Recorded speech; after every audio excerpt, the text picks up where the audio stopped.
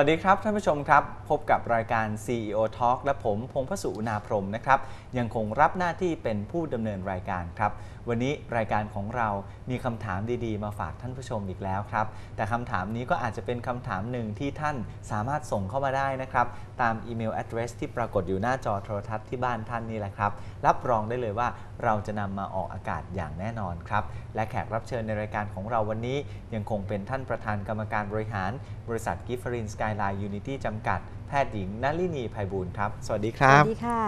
คุณหมอครับ วันนี้มีคำถามจากนักธุรกิจที่เขาขยายงานเกี่ยวกับกลุ่มของผลิตภัณฑ์เสริมอาหาร ค่ะเขาบอกว่ามีสมาชิกที่เป็นผู้บริโภคในทีมงานเขาเนี่ยนะครับ ก็ทานอาหารเสริมของกิฟฟารีนไปนี่แหละ แล้วเขาก็รู้สึกว่าไม่ค่อยซื้อซ้ำเท่าไหร่ คือทานผลิตภัณฑ์เสริมอาหารไปแต่ไม่ซื้อซ้ำเขาก็อ้างว่านะครับบอกว่าโอ้ยไม่เอาแล้วล่ะทานแล้วไม่เห็นผลเลย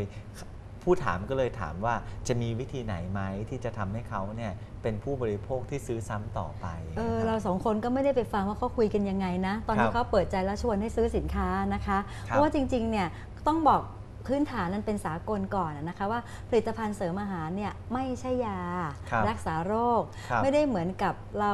ปวดหัว แล้วเราทานพาราเซตามอล2เม็ดแล้วเราก็จะหายปวดในเวลาครึ่งชั่วโมง ถ้าเราไม่ได้ปวดหัวอะไรมากมายอะไรครับอย่างนั้นมันไม่ใช่ครับนะคะมันไม่ใช่ยาแก้ปวดมันไม่ใช่ยาลดไข้ที่จะเห็นผลทันใจ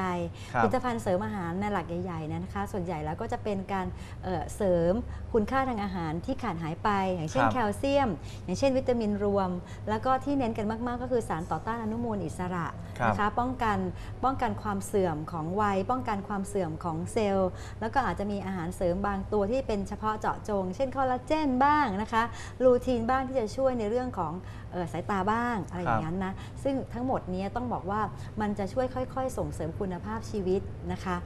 วันนี้เนี่ยรายงานทางการแพทย์หลาย ๆ รายงานที่บางคนเนี่ยจับประเด็นไปใช้แล้วผิด เช่น สารต่อต้านอนุมูลอิสระ เรารู้ว่าอนุมูลอิสระเนี่ยถ้ามีมากๆในคนอายุมากๆเนี่ยมันก่อมะเร็งได้ครับนะคะแต่เราต้องรู้ว่าเซลล์มะเร็งเนี่ยกว่ามันจะพัฒนาเป็นเซลล์มะเร็งเนี่ยนะคะมันก็มาจากเซลล์ธรรมดา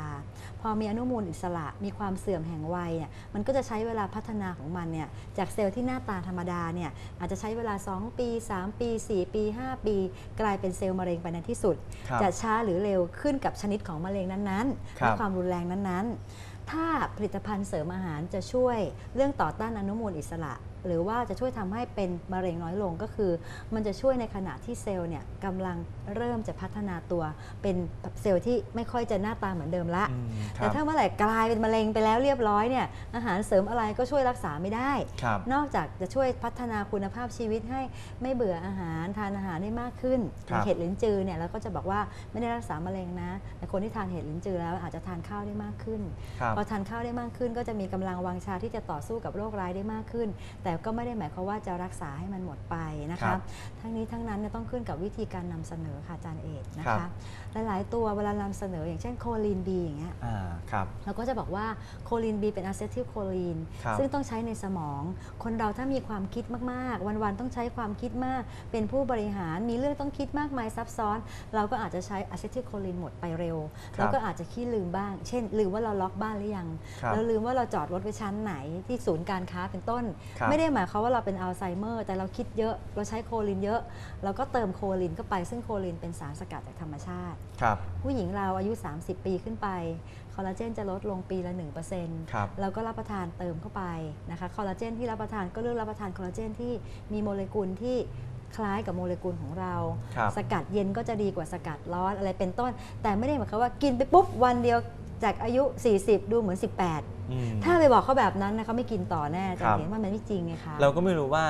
คนนำเสนอไปสร้างความคาดหวังอะไร ที่มันเกินจที่ริงมันหรือเปล่าเกินจริงหรือเปล่าหรือว่าโอเวอร์เคลมหรือเปล่า เลยครัทำบให้เขารู้สึกว่าเขาขาดความเชื่อมั่น กินไปแล้วไม่เห็นมีอะไรดี แล้วก็จะต้องดีในเร็ววันหรือเปล่าอะไรอย่างครันี้บนนะครัคะบค่ะเพราะฉะนั้นตัวตัวหลักการนำเสนอผลิตภัณฑ์เสริมอาหารจริง ๆ แล้วคงอาจจะต้องมีการทำความเข้าใจกัน ให้ให้ให้ดีที่ว่าสักต้องให้ข้อมูลที่มันเป็นจริงอะและครับเป็นธรรมกับผู้บริโภคอะนะครัคะบแล้วบอกเขาตรงๆว่าเขาทานเนี่ยมันดีกว่าเขาไม่ทานแน่นอนแล้วมันครัจะบดีอย่างไร ครับแต่อย่าไปรับประกันว่าโอ้ยกินเข้าไป 3 วัน 7 วันแล้วจะต้องเป็นอย่างนั้นอย่างนี้อืมแปลว่ามันไม่จริงนะคะครับ นะคะ แต่ถ้าเปิดสมมุติว่าเขาอธิบายและเข้าใจหลักการเนี่ยคนส่วนใหญ่วันนี้มีความรู้ครับ นะคะแม้แต่คุณหมอที่อายุน้อยๆตอนนี้ก็ทานผลิตภัณฑ์เสริมอาหารหลายตัวเพราะว่างานวิจัยของผลิตภัณฑ์อาหารเสริมเนี่ย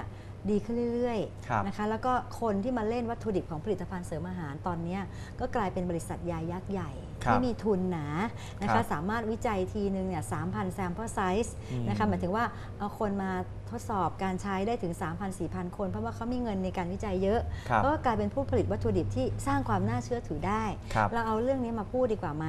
ดีกว่าจะไปรับประกันเขาว่ากินแล้วแป๊บเดียวเห็นผลซึ่งครับมันไม่ใช่ครับก็ดูเหมือนจะเป็นเกี่ยวกับเรื่องของประโยชน์ของสารสำคัญใช่ที่อยู่ค่ะในผลิตภัณฑ์นั้นๆ ที่มาของวัตถุดิบว่ามันมาจากแหล่งที่เชื่อถือได้ พูดความจริงดีกว่าครัค่ะ บดีกว่าว่าพูดในสิ่งที่ไม่จริงแล้วหลอกให้เขาซื้อแล้วเขาก็ครับ คงจะซื้อหนเดียวแล้วเขาก็จะไม่ซื้ออีกครับ นะคะ แล้วก็ต้องมีหลาย ๆ ตัวจริง ๆ ที่ต้องบริโภคต่อเนื่องด้วยนะใช่คะค่ะตามหลักเช่นแคลเซียมเช่นที่คุณหมอแคลเซียมอย่างเงี้ยวิตามินค่ะ รวมใช่ค่ะ อ่าพวกอย่างนี้เนี่ยสามารถบริโภคได้ทุกวันใช่ค่ะนะครับสามารถบริโภคได้ทุกอวัย่าน งอย่างพื้นฐานขององค์กรองค์การอนามัยโลกเขาก็จะแนะนำเลยนะคะว่าอย่างน้อยๆวิตามินรวมควรรับประทาน ครับ และแคลเซียมในประเทศที่ทานนมน้อยก็ควรจะทานด้วย ครับ แคลเซียมเองเนี่ยเป็นอะไรที่ต้องเรียกว่าในแต่ละวัยและแต่ละอายุต้องการไม่เท่ากันนะครัคะบโดยเฉพาะผู้หญิงในวัยที่หมดประจำเดือนแล้วเนี่ยถ้าไม่ทานเลยเนี่ยกระดูกจะผุแน่นอน เพราะว่าผู้หญิงอาหารไทย 3 มื้อนี่จะมีแคลเซียมแค่วันละประมาณ 2-300 มิลลิกรัมเท่านั้น ครับ ขณะที่ผู้หญิงในวัยหมดประจำเดือนแล้วต้องการวันละพันสองมิลลิกรัม ครับผู้หญิงท้องต้องการวันละพันสองมิลลิกรัม เด็กที่กำลังจะเจริญเติบโตสูงเร็วๆอะ9ขวบถึง 13 ต้องการวันละพันสองมิลลิกรัมเขาถึงครับบอกว่าเด็กๆให้ทานนมเยอะๆไง ถ้าทานไม่ได้ก็ต้องเสริมแคลเซียมครับ ค่ะ เอาละครับ วันนี้ได้คำแนะนำจากคุณหมอไปแล้ว คงจะทำให้เรามีวิธีการดูแลผู้บริโภค แล้วก็สื่อสารกับผู้บริโภคได้ดียิ่งยิ่งขึ้นนะครับ วันนี้รายการของเราเวลาหมดลงแล้วครับ พบกับผมและคุณหมอต้อยได้ใหม่ในครั้งต่อไป วันนี้ลาไปก่อนนะครับ สวัสดีครับ